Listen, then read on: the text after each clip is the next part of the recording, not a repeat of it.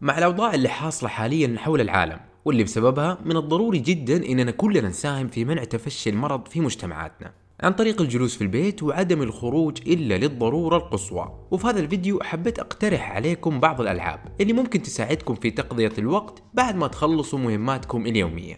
الألعاب اللي راح أتكلم عنها بتكون مقسومة لفئتين. خمسة ألعاب تلعبها لحالك مع ذكر سبب اختياري لهذه الألعاب. وخمس ألعاب ثانية تقدر تلعبها مع شخص آخر من خلال يد التحكم الثانية. وراح أتجنب ألعاب الأونلاين المعروفة مثل فيفا أو ال Ultimate Team، Call of Duty و Fortnite والبداية بتكون للي محبوسين مع أشخاص آخرين واحتكار ال PlayStation أو ال Xbox ما هو خيار متاح.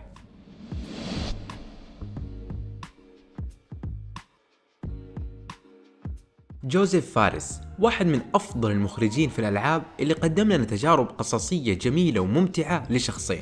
واحدة منهم لعبة أواي أوت واللي تحكي قصة محاولة هروب لشخصين من السجن من خلال لعبة مليئة بالأكشن والمغامرات وراح تتطلب توحيد الجهود من اللاعبين عشان يقدروا يتموا المهمة بنجاح ويحلوا المشاكل المتتالية اللي راح تواجههم. طبعا بالإمكان إنك تلعب مع أحد أصدقائك عبر الإنترنت لكن اللي يهمني هنا هو إمكانية اللعب من خلال أيدي التحكم مع شخص آخر معك. اللعبة عليها تخفيضات في أغلب المتاجر وبتكون تجربة جميلة ومناسبة لأغلب اللاعبين.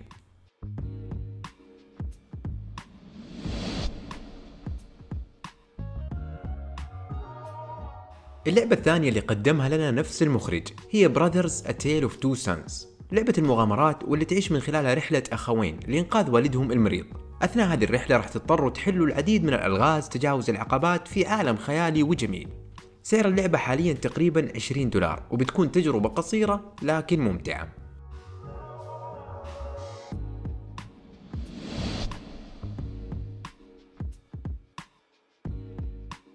أما لمحبين ألعاب البلاتفورمر والألغاز وفي نفس الوقت تقدر تلعبها مع شخص آخر. انرافل 2 تقدم بالضبط هذه التجربة. من خلال تقديم العديد من الألغاز البيئية واللي راح تتطلب تعاون اللاعبين لحلها في عالم ممتع مسلي وجميل من الناحية البصرية. اللعبة متوفرة على كل المنصات وسعرها ما يتجاوز ال 20 دولار.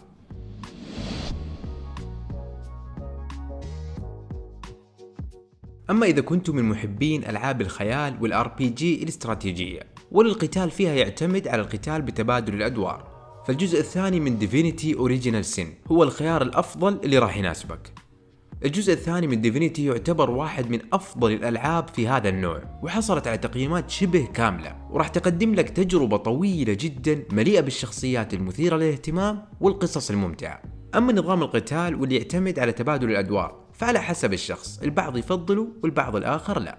جدير بالذكر أنه اللعبة بالإمكان أيضا لعبها بشكل منفرد.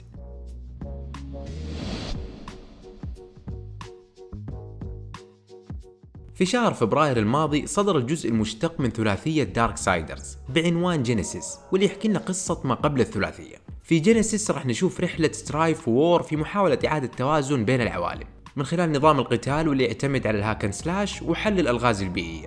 هذه اللعبة تقدر أيضا تلعبها بشكل منفرد لكن المتعة لما أحد معاك يستخدم اليد وتتحكموا بالشخصيتين في نفس الوقت وتقاتلوا أمواج الأعداء.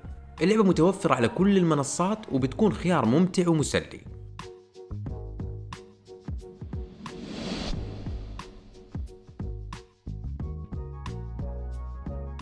أما اللي جالسين لحالهم وما في أحد يشاركهم الجهاز ويقدروا يحتكروه بدون أي مشاكل. فهذه الخمس ألعاب اللي راح أذكرها من وجهة نظري خيار مناسب إنك تلعبها في الفترة الحالية.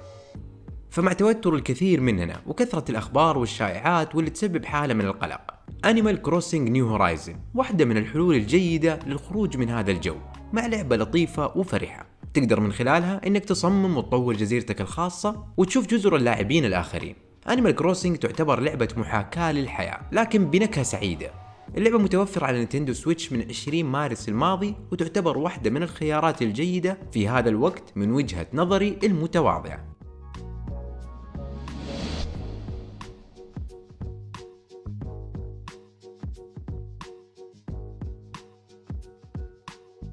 The Witcher 3 Wild Hunt والمحتويات الإضافية لطول القصة. راح تضمن لك المئات من الساعات المليئة بالقصص الممتعة المسلية مهمات جانبية ورئيسية. وبإمكانك أيضا أنك تتجاهل كل هذا وتقضي وقتك في لعب ال Gwent القصة الرئيسية بقدر ما هي جميلة وطويلة لكن أيضا الإضافات اللي صدرت للقصة لا تقل جودة عن اللعبة الأصلية وتستحق السعر الكامل.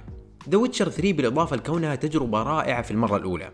تفرع القصة وتعدد النهايات واختلاف المهمات يخلي قابلية إعادة لعبة جدا عالية والأكثر من مرة. اللعبة عليها حاليا تخفيضات في كل المتاجر مع وصول سعرها بكل الإضافات ل 15 دولار في متجر PlayStation كل هذه الأسباب تخلي The Witcher 3 اختيار أكثر من مناسب إنها تكون واحدة من ألعاب العزل.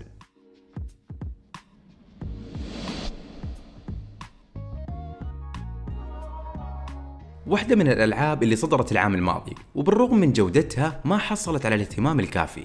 لعبة Judgment والمشتقة من سلسلة ياكوزا الشهيرة كانت واحدة من أفضل ألعاب 2019 اللي استمتعت فيها.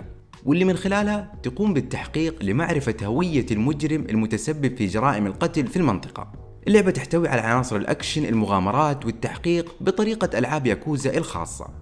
مع تواجد العديد من المهمات والقضايا الجانبية بالإضافة لإمكانية القيام بالعديد من النشاطات المختلفة.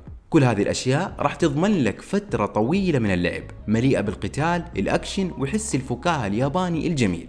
للأسف اللعبة ما عليها أي تخفيض ومتوفرة بالسعر الكامل على متجر PlayStation لكن بسبب المحتوى الضخم اللي راح تقدمه أشوف إنها تستحق هذا السعر.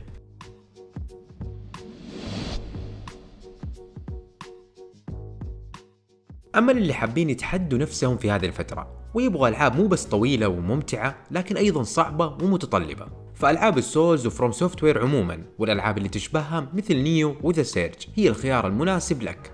أي جزء من ثلاثية Dark Souls أو Bloodborne أو حتى Sekiro كفيلة إنها تشغلك لساعات عديدة. ما أقدر أوعدك إنها راح تكون دائما ممتعة خصوصا لما توصل لزعيم يسبب لك إحباط. لكن أقدر أضمن لك إنك راح تكون مبسوط وراضي بعد ما تنهي.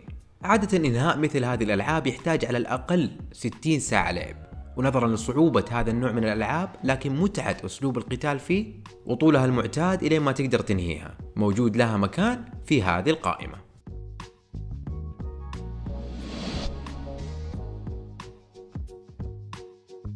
سلسلة Naughty Dog الأسطورية ال Uncharted وبالتحديد الجزء الرابع راح تكون ضمن الألعاب المجانية لمشتركين PlayStation Plus لشهر أبريل.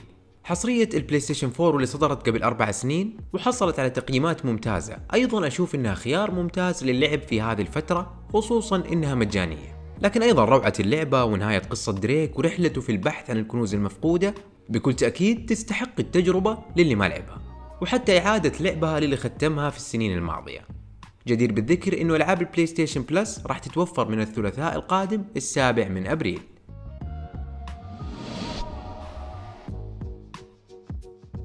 اذكروا لنا في التعليقات الألعاب اللي أنتم تقترحوها للعب في هذه الفترة سواء ألعاب التختيم والقصة جديدة أو قديمة أو الألعاب الجماعية الغير مشهورة بشكل كبير وأتمنى أكون قدرت أوفر لكم قائمة متنوعة من الألعاب اللي من الممكن تسليكم في هذا الوقت الصعب وبإذن الله قريبا تعدي الأزمة هذه على خير وتكونوا بصحة وأتم العافية. أما لمشاهدة المزيد من المقاطع المختلفة والمتنوعة عن عالم الألعاب اشتراك ونشر وخذ لفة على باقي فيديوهات بلاير 1. وكالعادة شكرا على المشاهدة.